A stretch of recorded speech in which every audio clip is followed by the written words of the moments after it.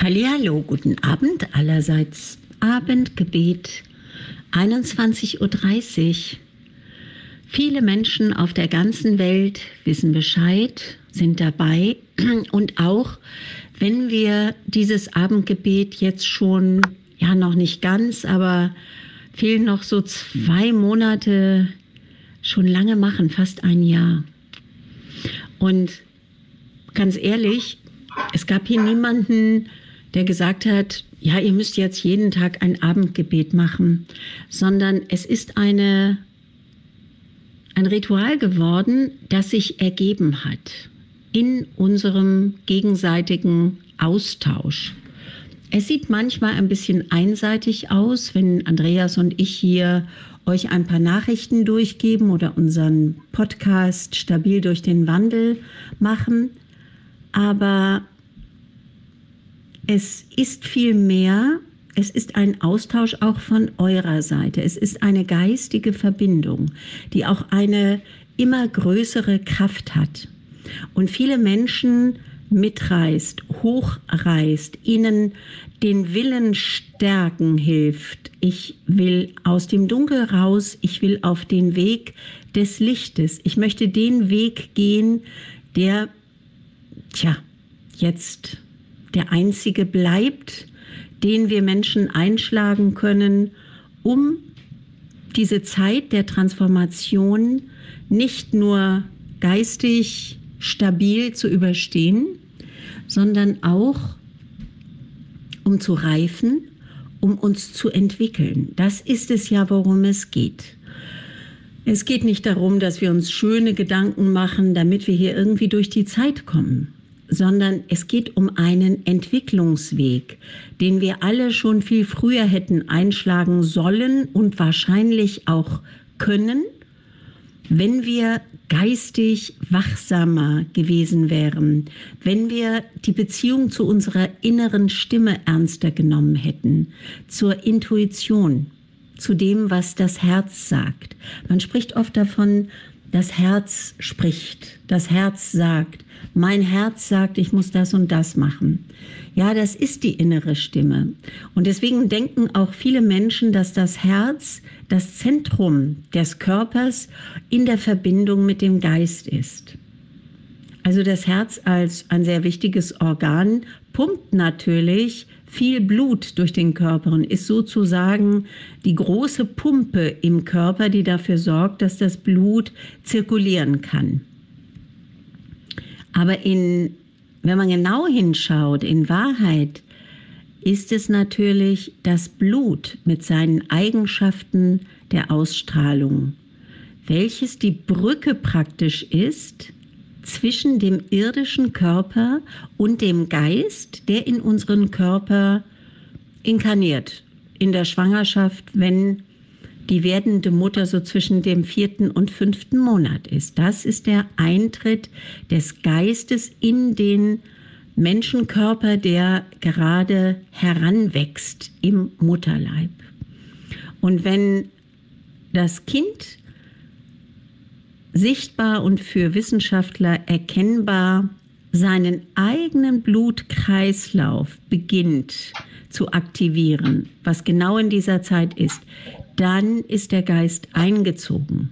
Vorher nicht. Aber es tummeln sich natürlich viele Seelen, die inkarnieren möchten, weil eins ist klar, das ist immer wieder sehr wichtig zu sagen, wenn wir abscheiden, wenn wir hinübergehen, wenn unsere irdische Laufbahn hier erstmal beendet ist, dann kommen wir ins Jenseits und dort im Jenseits dürfen wir viel mehr erkennen, als wir es hier auf der Erde konnten, nämlich erkennen, was wir gefehlt haben, was wir falsch gemacht haben, worin wir uns wirklich vielleicht versündigt, vergangen haben und das ist uns in dem Maße aus ganz bestimmten Grundgesetzen her nicht so möglich, weil eben der Verstand darüber ist, der natürlich im Jenseits nicht mehr da ist und nichts mehr schönreden kann, sondern da liegt sozusagen das Gewissen bloß. Und da kann man natürlich leicht erkennen, ei, was habe ich da alles falsch gemacht? Ja, und es ist eben wichtig, um wieder auf den Ausgangspunkt zu kommen, dass wir unser Inneres, unseren Geist, man kann auch Seele sagen, in unser Leben, in unsere Entscheidungen, in unser Dasein nicht nur mit einbeziehen, sondern ihm den Vortritt lassen. Also nicht dem irdischen Verstand, der uns rational alles zurechtlegen kann, erklären kann, aber da ist das Gewissen nicht gefragt, sondern das sind die rein sachlichen Strategien, die man so im Laufe des Lebens auch äh, durch Entscheidungen treffen muss und entwickeln muss. Aber wenn wir nicht das Innere, die Seele, unseren Geist mit hineinnehmen, und zwar nicht als gleichberechnet, sondern so berechtigt, sondern sogar als übergeordnet. Erst dann hat alles ein festes Gerüst von Werten, Moral, Ethik, Tugenden. Also wenn wir diesem, diesem Inneren was unbedingt Einfluss auf jede unserer Entscheidungen nehmen muss, viel mehr Raum geben würden und nicht alles wegwischen, ah, kann ich nicht sehen, also glaube ich es nicht, nee, nee, und wir machen das jetzt hier so ganz, ganz klar und rational, dann ist es eine Strategie, die jetzt nicht mehr funktioniert. Wir werden damit keinen Schritt mehr weiterkommen. Da sind wir bereits. Also wir haben innerhalb eines Jahres schon ein ganz schönes Programm durchlaufen und es wird auch im Laufe der kommenden Monate natürlich immer deutlicher erkennbar werden, dass wir eben, wenn wir uns nicht nach den Naturgesetzen richten, kaum noch etwas ausrichten können. Können wir ja eh im Moment nicht. Und es ist schon sehr spannend, wie es möglich ist, was gerade passiert auf der Welt, vor allem auch in Europa, so im Kern von Europa. Das ist tatsächlich für mich total überraschend, dass also auch unsinnigste, sich ständig widersprechende Aussagen von Politikern offenbar gedankenlos oder sogar fast ehrfürchtig hingenommen werden und dem nichts mehr entgegengesetzt wird. Auch wenn Kinder massenhaft leiden und die Alten und eigentlich fast alle. Aber das ist nicht das Thema, was ich jetzt hier ansprechen möchte, sondern es geht darum, dass wir uns unbedingt auf dieses andere Bein mitstellen müssen. Wir stehen auf zwei Säulen, der irdischen und der geistigen. Und die geistige Säule ist die stärkere, muss die stärkere sein, wenn wir auf dieser Welt Erfolg haben wollen. Und zwar Erfolg in dem Sinne, als dass wir hier weitermachen dürfen und in den Naturgesetzen wirken und leben dürfen und auch entscheiden dürfen und müssen. Anders wird es nicht mehr möglich sein. Also erstaunlich ist für uns schon, wie schnell diese Prozesse gehen und dass eigentlich ein Ritt durch alle Instanzen, die praktisch fallen müssen. Also alles Falsche muss ja zusammenbrechen und da so gut wie alles falsch ist auf dieser Welt, muss dieses Gewerk zusammenbrechen. Und früher haben wir uns immer gefragt, wie mag das gehen, diese einzelnen gesellschaftlichen, wirtschaftlichen, finanziellen Bereiche. Wie soll auch, auch Sport, Kultur und so weiter, wie soll das dann zusammenbrechen? Tja, und dann kam die Mikrobe und die zeigt alles ganz deutlich, beziehungsweise die Maßnahmen, die hier erlassen werden und ergriffen werden, die zeigen, wohin die Reise geht. Ja, und ich möchte euch immer wieder ermuntern, in diesen sehr schwierigen Zeiten nicht zu verzagen, nicht in Wut oder Zorn zu verfallen, nicht sich in Angst treiben zu lassen. Ganz, ganz wichtig, immer innerlich in der Stärke bleiben. Und hier hat uns jemand geschrieben, und das möchte ich euch vortragen. Ein jüngerer Mann, der im Prinzip den Anschluss ans Leben verloren hat. Wie er schreibt, nichts macht ihm mehr Spaß. Früher hat ihm das Studium Spaß gemacht, das Leben hat ihm Spaß gemacht. Er hatte Aussichten auf eine Karriere, auf einen bestimmten Lebensweg. All das sieht er jetzt nicht mehr und ist dabei abzugleiten in die Depression. Er sieht auch keine Möglichkeiten, dieses Online-Studium täglich zu erledigen. Da hängt er eh schon hinterher und hat kaum die Kraft, sich noch hochzureißen. Haben, und Christopher Vasey und sein Seelenarbeitsteam haben darauf geantwortet. Und das werde ich euch auch gleich vorlesen, weil auch hier davon auszugehen ist, dass es doch einigen Menschen jetzt so zu gehen scheint. Wir hatten vor einigen Wochen mal darüber gesprochen, wie wichtig es ist, dass man sich jetzt eine Struktur schafft. Dass man bitte, bitte nicht bis nachmittags oder vielleicht sogar bis abends im Schlafanzug rumhängt oder im Morgenmantel rumläuft, immer im Kopf, na, ich mache das gleich und dann kommt die Abenddämmerung und das war's dann mit diesem Tag im Bademantel. Das ist ein Zustand, in den wir nicht hineinrutschen sollten, weil wir damit jegliche Ordnung verlieren. Und es gibt diesen schönen Satz, mit dem ich groß geworden bin, halte Ordnung und die Ordnung wird dich halten. Sehr wichtig in der jetzigen Zeit. Ordnung heißt in diesem Fall einen Stundenplan entwerfen, den man auch, als ob man jeden Tag ins Büro gehen müsste oder zum, zum Arbeitsplatz, ganz minutiös einhält und auch sich selbst immer wieder unter Druck setzt, um diese Uhrzeiten einzuhalten. Nicht rumhängen, nicht durchhängen lassen. Ich spreche nicht davon, wenn man sich mal nachmittags hinlegt, die Beine ein bisschen hochlegt, was liest oder ein bisschen Musik hört oder so. Das ist überhaupt nicht. Aber wenn man das in einem geordneten System, in einem geordneten Zustand macht, dann kann man diese Ruhepause auch genießen als eine solche. Aber wenn wir nur in Ruhepause sind und überhaupt nicht mehr wirklich hochkommen, dann verlieren wir, das kann nicht ausbleiben, die Achtung vor uns selbst. Und wenn ohnehin alles schwierig ist und alles eher runterzieht als rauf und wir uns dann hängen lassen, dann gute Nacht Marie. Also das ist keine gute Idee.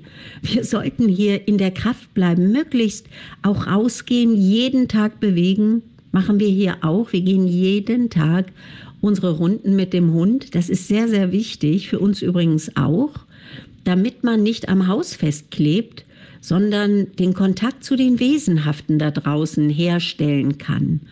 Und auch wenn man gar nicht bewusst an die Wesenhaften vielleicht denkt, also ich tue es immer, ich verbinde mich immer mit ihnen, nicht, dass ich sie sehen würde, aber indem ich, ja, ich sie anwesend weiß und eben mit ihnen sprechen kann. Gestern zum Beispiel, es war ganz spannend, da sind wir spazieren gegangen und da bin ich ausgerutscht. Wir hatten die Spikes unter den äh, Stiefeln und trotzdem, es hatte geschneit auf vereiste Flächen und trotz dieser Spikes hat es mich richtig zerlegt. Also ich bin mit einem Bein nach vorne gerutscht, während das andere noch angewinkelt war. Und so kam ich langsam runter und es war also eine kräftige Überdehnung des linken Knies, weil das immer weiter eingeknickt ist und der ganze Körper praktisch da drauf fiel. Und ich habe in dem Moment nur blitzschnell gesagt, bitte helft mir, weil ich wusste schon, das ist nicht angenehm. Und dann lag ich da wie ein Käfer auf dem Rücken und habe dann, Andreas wollte mir hochhelfen, habe ich gesagt, warte einen Moment. Und dann spürte ich wirklich, wie dieses, also wie ein Band ordentlich, es gibt bestimmten lateinischen Ausdruck, den kenne ich jetzt nicht, wie also dieses Innenband am Knie so richtig lang gedehnt wurde und ich dachte, gleich reißt es. Also es war kurz vorm Reißen. Und als ich mich dann ähm, da ganz kurz ausgeruht habe, habe ich mich mit ihnen verbunden und habe gesagt, bitte helft mir, dass es einfach schneller wieder besser wird. Und ich spürte Wärme und ich spürte eine Entspannung. Und der Andreas hat mich dann von hinten so hochgehoben, hochgezogen. Und da stand ich und wir sind weitergelaufen.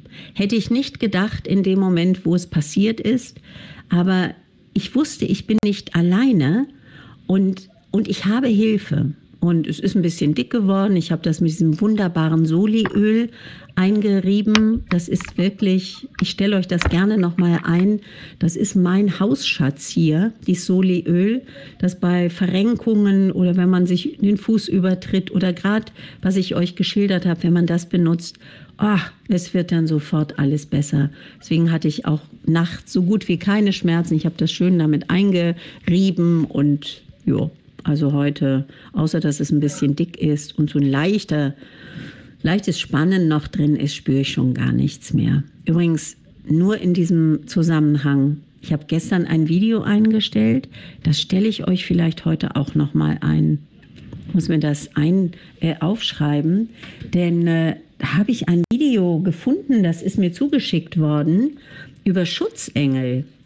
Und äh, da ist zum Beispiel in Asien mit der Überwachungskamera im Straßenverkehr an einer Kreuzung ist fotografiert worden, wie mehrere Parteien, Auto, Fahrrad und ich glaube noch ein Auto auf die Kreuzung zukamen und man sah schon von weitem, das wird ein Unfall, weil man etwas, weil einer was missachtet hatte, die Vorfahrt nämlich. Und dann sieht man, wie dieser Radfahrer irgendwie zu Schaden kommt und plötzlich sieht man eine Gestalt, die kommt und diesen Radfahrer nimmt, aber in Windeseile und auf die andere Straßenseite bringt. Und, und der schüttelt sich und steht auf. Und wer war, wer war diese Gestalt? Wahrscheinlich, wenn man es so gesehen hat, sah es wahrscheinlich aus, als ob der Radfahrer geschleudert wurde, aber diese Gestalt war zu sehen.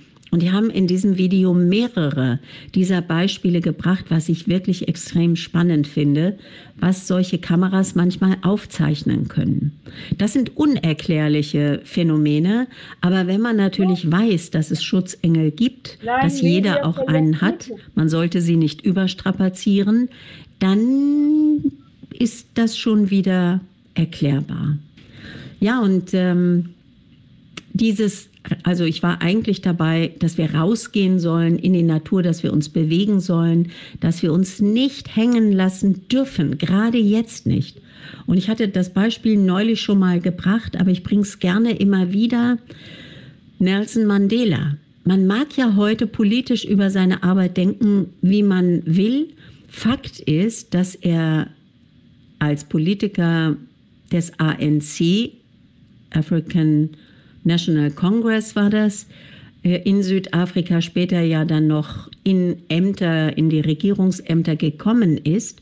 Aber während die Apartheid-Politik in Südafrika über Jahrzehnte durchgezogen wurde, also schwerste Rassendiskriminierung beziehungsweise Diskriminierung gegen die dunkelhäutige Bevölkerung Südafrikas, auch Namibias, ja, in vielen Ländern, aber speziell in Südafrika war es heftig.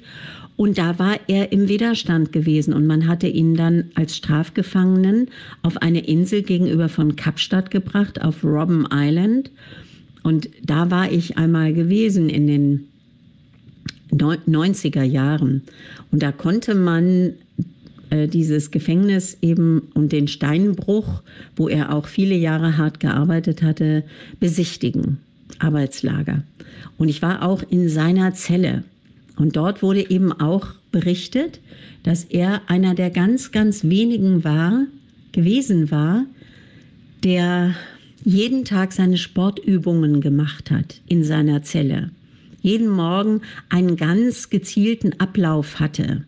Und man wunderte sich, wie Nelson Mandela nach den vielen Jahren Gefangenschaft trotzdem kraftvoll eigentlich dastand und in einer ganz außergewöhnlichen Verfassung war, jedenfalls für das, was da ihm angetan worden war. Und ja, und das ist ja jetzt also eine Art Zwangsmaßnahme, eine, ein Arrest für viele Leute, hat ja so ein bisschen was mit so einer Gefangeneninsel auch zu tun zuweilen. Und dieses Beispiel hat sich bei mir eingebrannt, weil wir davon unendlich viel lernen können, dass wir also auch in allerschwierigsten Zeiten durch Charakterstärke, durch eigen entworfene Strategien, die uns im Leben, in der Ordnung des Lebens halten, wie wir da die schwierigsten Situationen meistern können.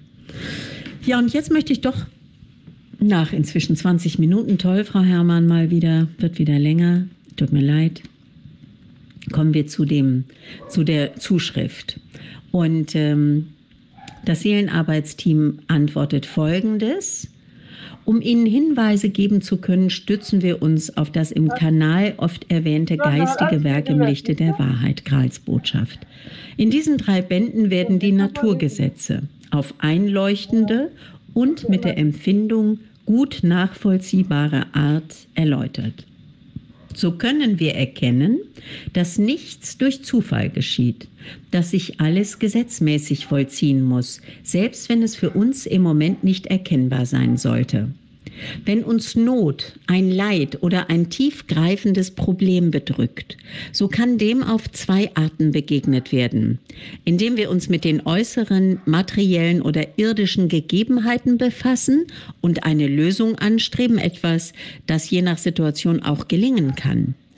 Jedoch können wir uns auch ins Bewusstsein rufen, dass das einzig und wirklich Lebendige in uns unser Geist ist, dass alles, was geschieht, durch unser geistiges Wollen verursacht oder zugelassen wurde. Bedenken wir, dass das Geistige, also irdisch Unsichtbare, immer das Stärkere und somit auch das Ausschlaggebende ist. Das irdisch-materielle hingegen nur die Auswirkungen des Wollens. So wird auch klar, wo angesetzt werden muss, um zu einem echten und tiefgreifenden Erfolg oder Neuwerden zu gelangen. Zu ihrer gegenwärtigen Situation. Aus ihrer Beschreibung entnehmen wir, dass ihnen der Sinn und das Ziel des Lebens abhanden kommt und damit die Perspektive und die Lebensfreude. Aus dem oben genannten Werk können Sie den eigentlichen Zweck unserer Erdenwanderung und auch darüber hinaus entnehmen. Diese Erkenntnisse eröffnen einen viel weiteren Aus- und Überblick und ungeahnte Seinsfreude. Ganz praktisch empfehlen wir, dass Sie Ihren Tag klar strukturieren. Die Online-Studienzeiten sind wahrscheinlich vorgegeben. Das Homeoffice können Sie eventuell zeitlich selbst gestalten. Sie sollten regelmäßige Essenszeiten einhalten und auch die Nahrung selbst sollte vollwertig, ausgewogen und in Ihrem Fall nicht energetisch zu karg ausfallen. Auch das Trinken bitte nicht vergessen, am besten Wasser. Ebenfalls sollte in ihrer Tagesstruktur genügend Zeit für die Körper- und Raumpflege eingeplant und auch strikt umgesetzt werden. Am wichtigsten erscheint uns aber zu sein, dass sie mehrfach täglich Zeit draußen an der frischen Luft verbringen. Im besten Fall schon morgens vor der Uni und nachmittags oder abends mindestens eine Stunde. Falls nicht schon vorhanden, könnten Sie sich ein Fahrrad zulegen und die sicher auch in Ihrer Nähe vorhandenen Naherholungsgebiete um Berlin nutzen. Setzen Sie sich wirklich eventuell mit einem guten Buch oder aufbauender Musik unter einen Baum. Sobald Sie sich innerlich darauf einlassen können, werden Sie eventuell mit etwas Ausdauer und Übung die ganz andere Art der Erholung und Kraftzufuhr erfahren. Es werden sich andere, aufbauende Gedanken und Perspektiven öffnen.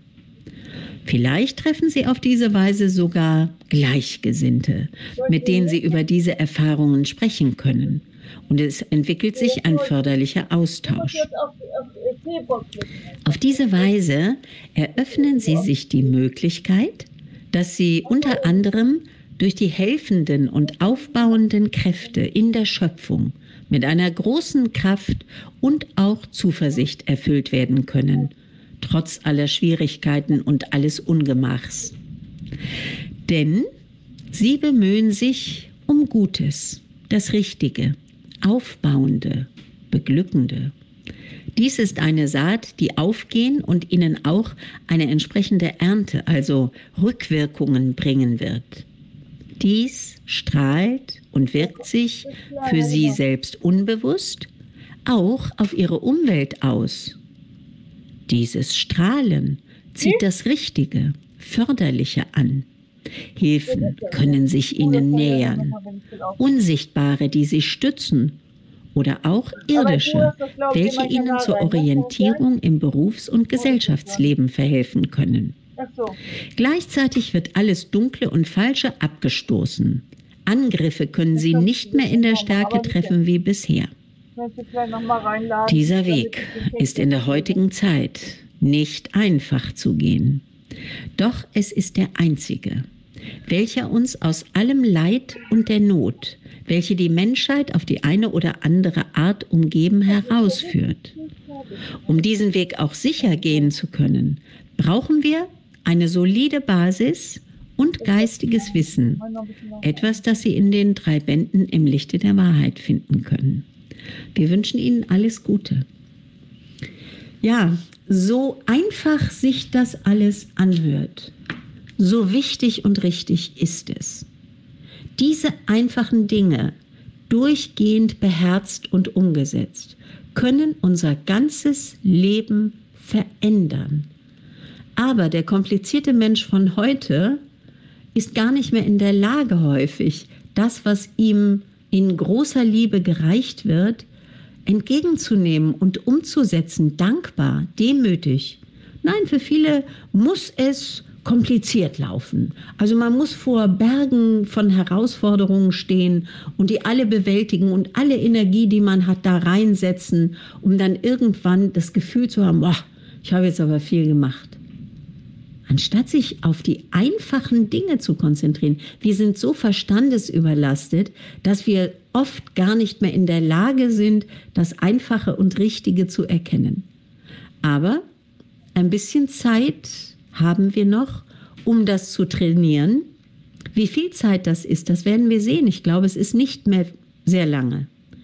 Das heißt, jeder Tag zählt. Also ran ans Werk. Danke. Bis später.